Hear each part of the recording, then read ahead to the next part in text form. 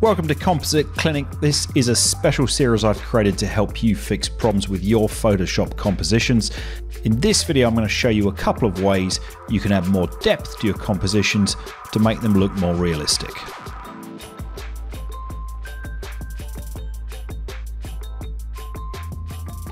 Okay, before we get started, as I said in the intro, I'm doing a series of these videos, so make sure you subscribe to the channel and check out the playlist for Composite Clinic, where all these tutorials will be located.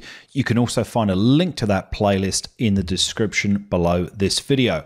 Okay, so for this video, I'm going to show you a couple of things with this composite of Black Widow I've been working on here in Photoshop.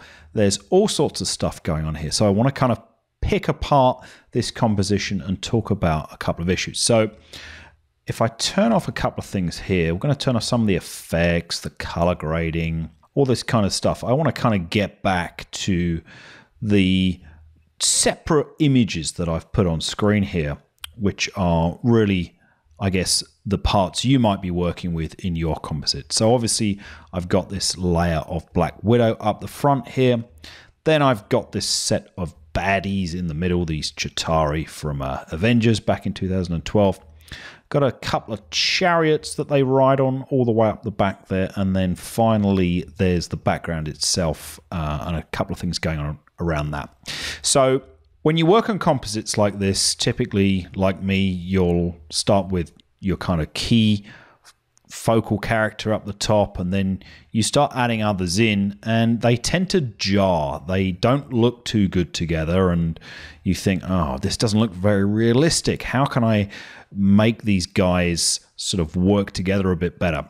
And the thing i see people resort to way more often than they should is blur.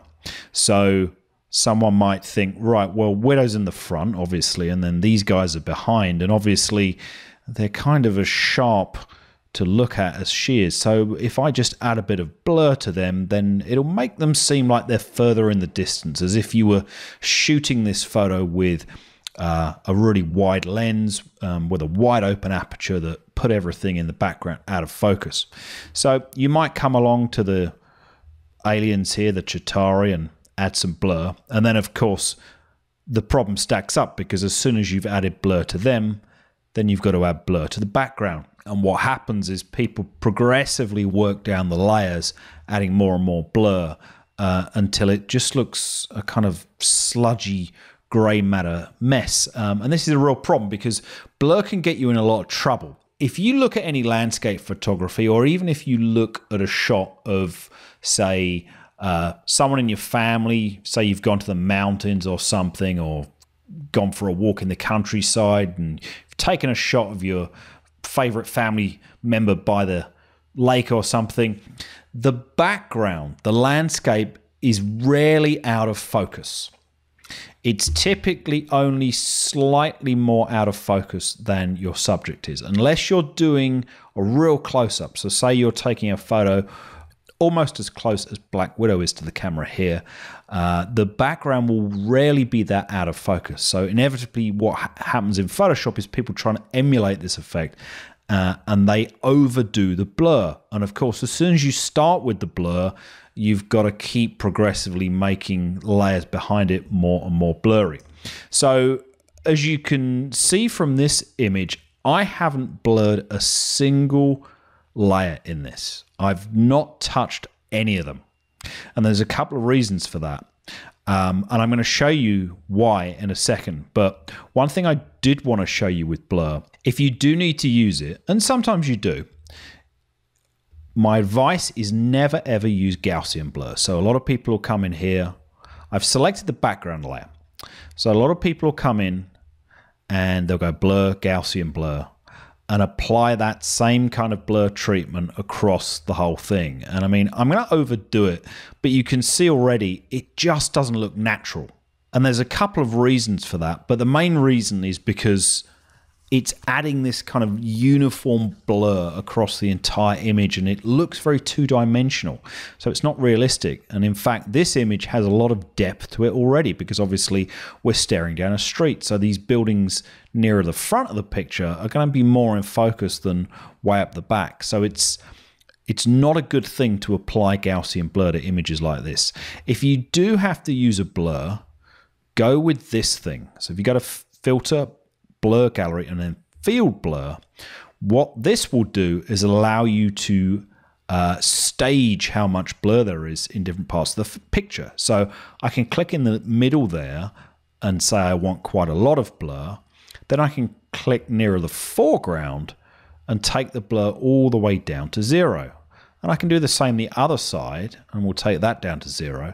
And now what you can see is the foreground is in focus. And as it goes to the middle, it gets more and more out of focus. So the middle's still a bit too blurry. So I'm going to dial that down a, a little bit. But now at least it's starting to look a little bit more realistic. At least now we've got this sense that as the further your eye gets away from the foreground, the background becomes more and more out of focus. But blur is a very, very subtle thing. You don't want to overdo it. Oh, there's a point there we'll get rid of just to make it even more realistic. For my money, the less blur, the better. It's you. You only want to use it subtly. Another thing you can do with field blur is play with this setting, light bokeh. So what this will do is just take away some of the uniformity of the blur. So it moves it away from the quality of Gaussian blur and starts to introduce, I guess, some of the effects you get with a real lens in terms of how it makes lighter areas bloom um, through the lens. It's a little bit too complicated to explain in this video, but what you'll find is if you use this setting, you'll get much more natural results from your blur. If you play with that, make sure you play with the light range as well, just in case you don't get any hot spots. I can just see a couple around the windows there. But already that looks good. I could apply that right now and I'd be probably happy. But you can see from my image, I've got these guys floating in the sky now. They're a bit too sharp. I've got stuff in the background, so it's going to create me all sorts of problems. So, how do I add depth to my compositions? Well, the thing I would advise you to lean on more than blur is light. So rather than thinking in terms of adding blur to the things in your background, think about increasing the amount of light. Let me just take you to the background here. I'm going to turn everything else off apart from this background. This isn't actually the photo that I used because what I've done is I've actually added a bit of treatment to this to make the back buildings seem further away than they actually are. So if I turn this off, this is actually the photo. So you can see everything's got about the same level of contrast. But what I did was isolate the building at the back and lighten it. Then I got the next couple of buildings and lightened those as well. And then finally I added just a sort of generalized lightning over the top of that. And what this does is it pushes the focus away from those far buildings where if I hadn't done that, these would start to conflict with some of the other stuff I've got going on in the composition. So the way you do this is by using curves adjustments. So all three of these layers here are curves adjustments where I've come on, you come down here, you add adjustment layer curves. And then you can see with this one, all I'm doing is taking up the shadows. So I just pull the shadows up and you can see what it does. It just lightens the background up. The same on this one. If I click to this one, you can see I've done the same thing again for this tier. Just pulled it up to lighten those up. And then again, same thing with this. And this is what I use to control depth. I'm playing with light, not blur. And what this is really doing is affecting what's called atmospheric perspective. Because what would be happening in real life is pollution and dirt and noise would be in the air and would make things harder to look at, make visibility less clear the further away things are. And so you can use that effect to your advantage by playing with settings like this to reduce the amount of contrast on things in the distance.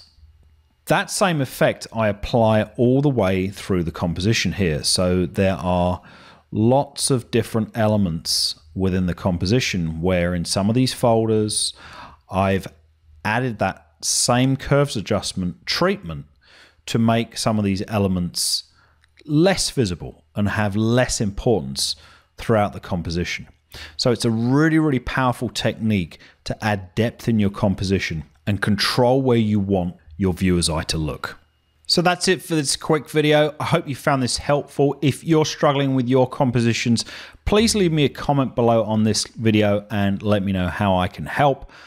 As I said, this is one of a series of tutorials on compositions in Photoshop. So make sure you follow the link below as well in the description to the full playlist for this series. And lastly, subscribe to the channel because there is a special subscriber only video you can watch on the channel page here. So go ahead and click that subscribe button now. Thanks for watching and I'll see you in the next video. Head to toyshooter.com for more tutorials, resources, and help with Photoshop compositing. You can also subscribe to my free newsletter by visiting shoot.toys in your browser or clicking on the link on screen. You can also follow my work on Instagram at instagram.com slash shoot.toys. Subscribe to the channel to watch a special subscriber only video which you'll find on my channel page after subscribing. Lastly, you'll find links to all the places I've just mentioned in the description for this video below.